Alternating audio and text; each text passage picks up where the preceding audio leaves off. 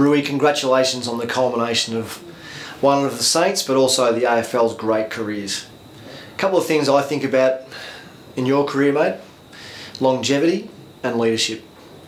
A career that spanned nearly three times the average AFL career, but one where you've been able to get the best out of yourself week in, week out, but year after year, is a testament not to just attitude, but I reckon it's what is your overall makeup.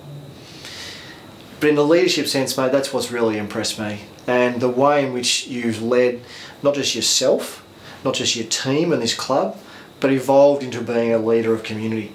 Um, that's something which I just really admire. Watching you up close over the last few years as you have evolved as a as a uh, father, um, as a family man, but also as a statesman of our game, it's been truly impressive. And uh, I congratulate you for that. Um, uh, I thank you for that. Um, and, uh, and I reckon on behalf of all Saints people, I'd say that we've all been inspired by that.